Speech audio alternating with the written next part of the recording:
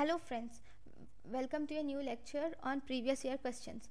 Which of the following are involved in antibody dependent killing?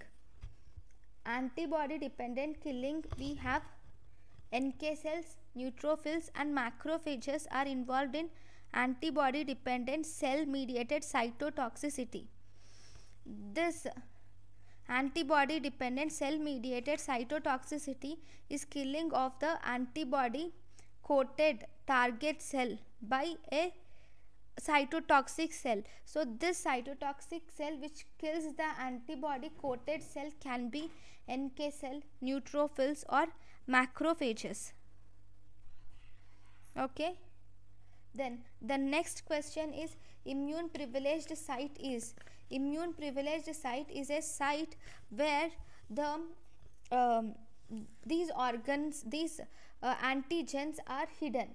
The the space the places where antigens are hidden those are called as immune privileged sites. So for example if you see example here is seminiferous tubules.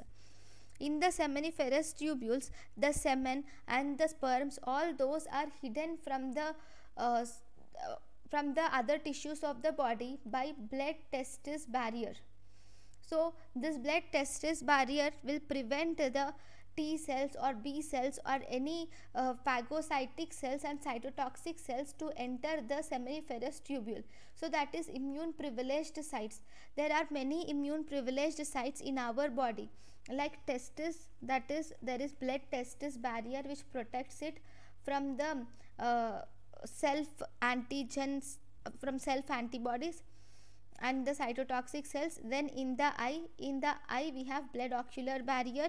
Then we have in the placenta obviously there is uh, the placenta. And also in the brain in the brain you have blood brain barrier which will prevent the entry of organisms uh, or entry of even the cytotoxic cells into the brain so these are actually the immune privileged sites.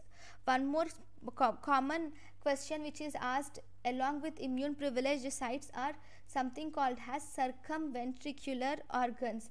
These circumventricular organs are the organs actually as i have said brain is an immune privileged site which is uh, separated from the uh, body by blood brain barrier. This blood brain barrier do not allow uh, any cytotoxic cells to enter the uh, brain or it does not allow the brain Mm, you know unless necessary unless there is an infection it does not allow the uh, antibodies which are coated by these brain antigens to enter the brain. So circumventricular organs are those uh, are those organs in the brain but they are outside this blood brain barrier.